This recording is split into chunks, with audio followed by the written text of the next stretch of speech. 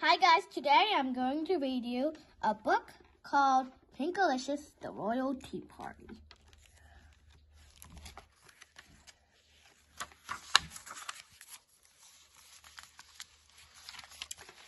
Pinkalicious, The Royal Tea Party.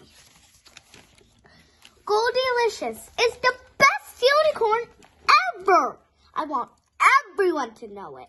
You should throw a party. Peter said.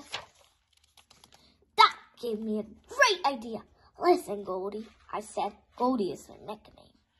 I'm going to crown you Princess Goldilicious. There was a lot to do to get ready for the coronation. That's Goldilicious. Peter heard. This is Pinkalicious. Pinkalicious's younger brother, Peter. Can I do something? Peter asked. Sorry, Peter, I said. This party was only for members of the royal court. I thought about what Peter does the best. Peter likes to eat. Maybe you could be the royal taster, I said. That means you taste all the food. You make sure it's perfect. Great idea, Peter said. I can't wait to start. I decorated the back backyard with Goldie's favorite color, pink. Then I went inside and planned the perfect menu. What do you think, Peter? I asked. Peter had a little sip of tea. This tastes okay, Peter said. It's a little boring, though. Don't be silly, I told him. It's perfect. Soon my guests arrived. Come in, come in, I cried. You're just in time to help get Goldie ready. Can I help? Peter asked. No thanks, I said, but you can go to the kitchen and take the food outside. Peter went to the kitchen. He was in there for a long time. What are you doing in there? I called. The royal, the royal taster is only supposed to have one taste. I'm just making sure the food is perfect. Peter replied, I'm coming outside now. Finally, Goldie was ready. Let the royal tea party begin, I declared. My friends and I sat down.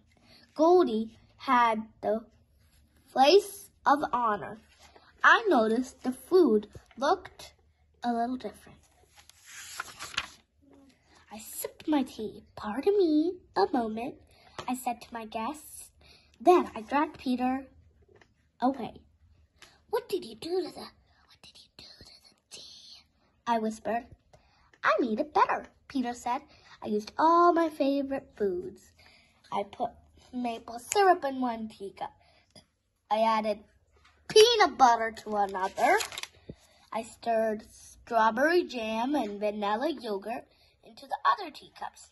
Peter continued, as the royal taster, I felt the sandwiches are tasteless. So I made better ones with ice cream instead of mayonnaise and goldfish crackers instead of tuna fish. This is a disaster, I cried. I went back to apologize to my guests. Yum, Molly explained. This sandwich is delicious. My tea tastes yummy too, Lila added. What's your secret, Pinkalicious? I tasted my tea again. It tasted like maple syrup. Hmm, it is good. My friends didn't seem to mind. The food tasted extra special. Maybe this party wasn't a disaster after all. Maybe it was, hmm, a perfect royal tea party. Coronation begin, I said. Goldie pranced forward. Goldilicious, you're the smartest, most beautiful unicorn ever. I touched my wand to Goldie's horn. I hereby royally declare you Princess Goldilicious. I said, Hooray! My friends cheered. I gave Peter a new hat. Then I touched my wand to his hat. And I declare you Sir Petey the chap.